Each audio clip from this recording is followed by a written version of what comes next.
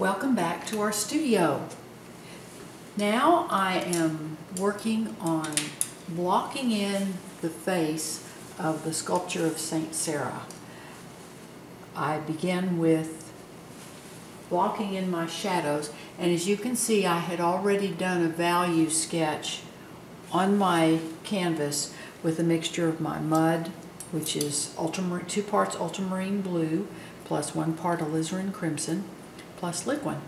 And that gives me a value study. I, I know where the lights and darks are on the planes of his face. That sketch is dry. So now I can come back and paint over it. And I'm start with blocking in my shadows. This is a mixture of my mud plus a little bit of cadmium orange plus a tiny bit of cadmium red light plus a little bit of ultramarine blue and white. And this gives me a nice bronzy color. I'm also using here, I'm using a little ultramarine blue on the side of the face where they get some reflected light back onto the side of his face. Now, because my, I think my sky is still a little bit wet. No, not really. A little bit. Um, it looks like my sky is dry, so it, then I can just go where I've painted back over, I can just lift a little of that color back off of the off of the sky where I sort of went over. If it had not been dry, I have my paint mixtures left over from the sky so I could always go back and, and paint that.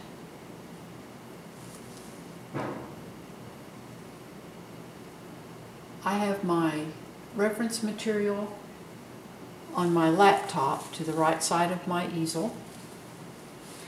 On the, it's on, sitting on my tabouret. That makes it really easy for me to refer to my reference material. I've got a really good picture of this statue sculpture of St. Serra. We lived in Carmel, oh, just a wonderful place to live, and we visited the mission numerous times and took lots and lots of pictures, so it's nice to have all those pictures to, as reference. Now I am going to take a little of my sky color right now and just come around this edge just to soften this. I don't want him to look like he's just pasted out onto the background. So I want to soften some of these edges as we paint so that he goes back. That is a technique that we use in painting that allows us to give the feeling of dimension. By softening those edges, it makes them go back. He's got some dark then under this cheek.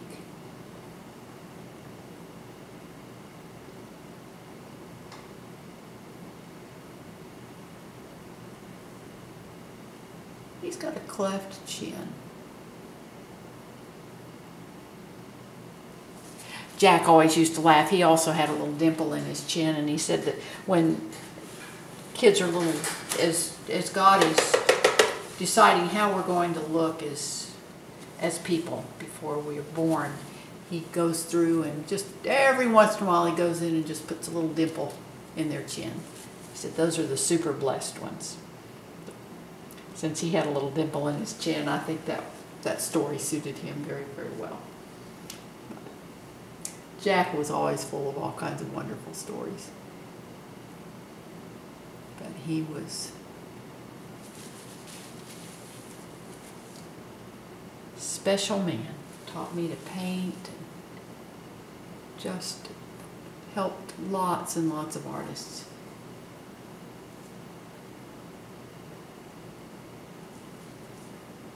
I'm working with what we call a bright brush. The tip of it is square and I can cover broad areas with that or I can use the corner to make details. Now I'm bringing this shadow under his chin onto his neck. The light coming in from the upper left. And then it also comes across here on this on his cape. And there's a little blue in these reflected lights because of the blue sky reflecting down into them. And I accentuate it a little bit more than it really is, but that's some of the joy of painting. That's, that's my impressionism coming out. Now we're going to start up his, these shadows under his eyes. This one, he's, you're going to, eyelid's going to catch a little light. This one, this one's darker. This one's more in shadow, totally in shadow.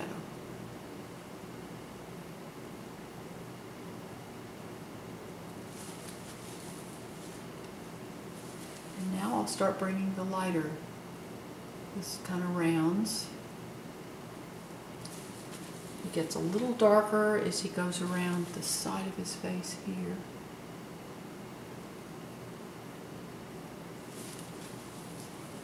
And then we get lighter on this area.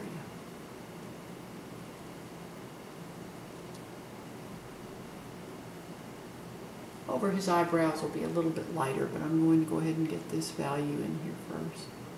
And he'll have a little lightness on the cheekbone or the point of the cheek. Will be darker. Get the bridge of his nose here.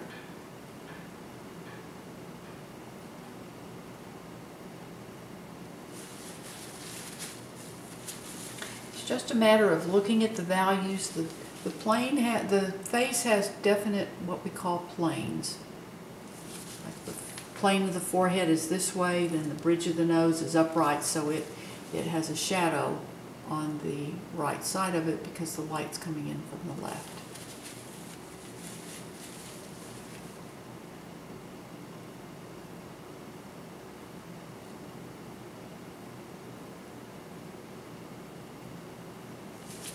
This is very different for me to face, paint a face that's not in flesh tones. Painting a sculpture is a little bit different. Different values, different tones. But the planes of the face are exactly the same, I'm just using different colors.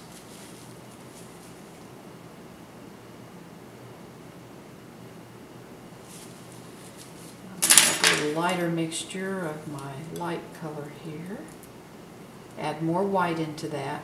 And that's all, again, that same basic mixture of my mud plus cadmium orange plus a little bit of cadmium red light plus a little bit more ultramarine blue plus white. And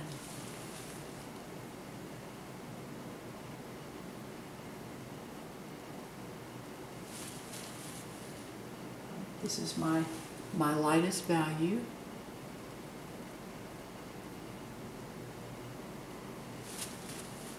I'm not going to leave those brush strokes as hard as they are up there on his eyebrow, but I'll come back.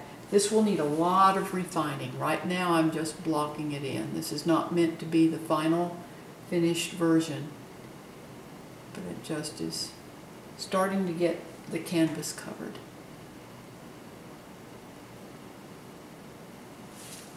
Just get my light patterns established lower lip here. And then he gets a little light right here on his chin. Right now it looks pretty crude, but like I say, there's going to be a lot more refining. Putting this shadow under his nose.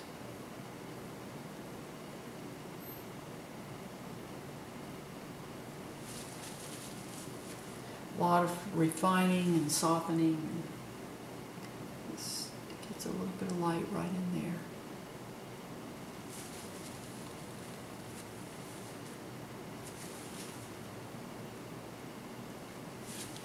Now let me do his neck here where the light shines on it. Just a little bit here.